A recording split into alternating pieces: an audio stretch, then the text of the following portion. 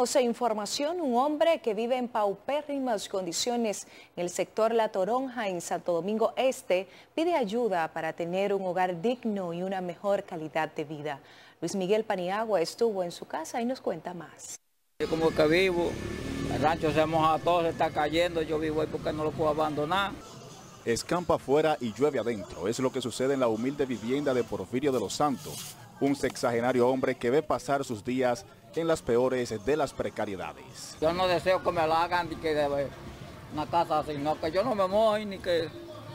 Pues yo no, no, no, deseo nada grande, sino que no, yo no me moje. O sea, ojalá sea que me la cobien de ciña y de cómo ella está. Para evitar mojarse con la lluvia, Porfirio utiliza un plástico que le sirve de sábana o en el peor de los casos se refugia en su pequeño baño, uno de los pocos lugares donde no caen goteras. Cuando llueve, pongo cubete, en de me levanto la ropa, mejor mía la tengo en el baño porque la mayoría se me ha dañado.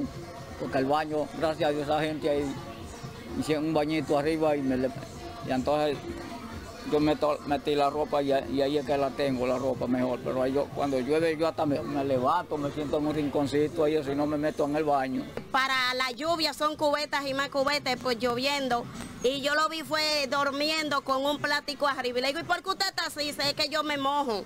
Sus vecinos le suplen la única ayuda que tiene este hombre, ya que antes se dedicaba a recolectar botellas para venderlas, pero ya este oficio no es lucrativo. Gracias a Dios vivo atento a veces a los vecinos y la tarjeta que nos da el gobierno. Si usted desea colaborar con Porfirio de los Santos, puede hacerlo a través del teléfono 829-334-2800.